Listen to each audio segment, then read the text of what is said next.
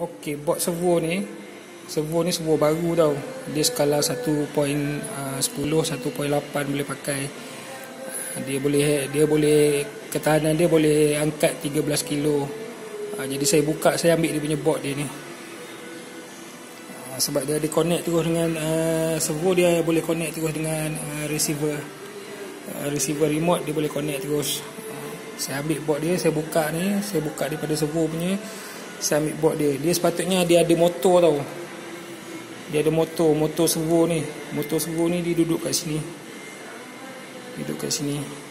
Dia rapat kat sini. Ha, dia macam ni lah. Rupa dia. Rupa dia macam ni lah dekat bot tu. Saya buang motor dia ni. Ha, saya buang motor dia ni. Saya connect dengan motor motor ni. Ha, maknanya positif negatif Ha, positif negatif. Untuk motor ni motor winch ni.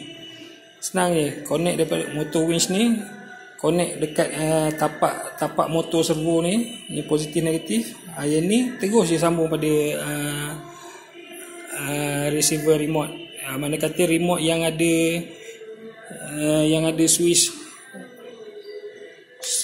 Switch apa ni?